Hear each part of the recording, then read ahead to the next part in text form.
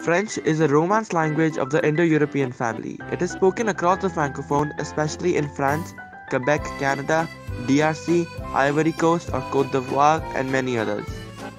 It's the fifth most spoken language in the world, only counting native speakers, and was a language of trade and diplomacy for years, but not anymore. Ever wondered why?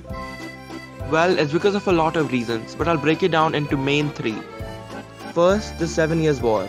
It was a war that lasted from 1754 to 1763 between Great Britain and France, obviously in which France lost and with it all of its colonies in North America and lost trade interests in India and this diminished its position on the world stage.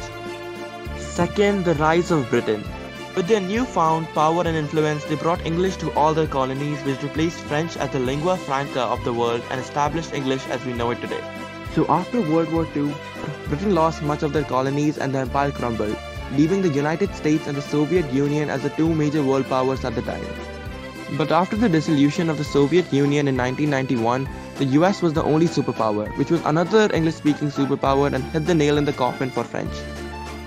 Lastly, not to say French has no use, French is still widely spoken and taught but not at the same level as it had been. Now we're at the end of the video. If you liked this video, make sure to like and subscribe and I'll see you all later.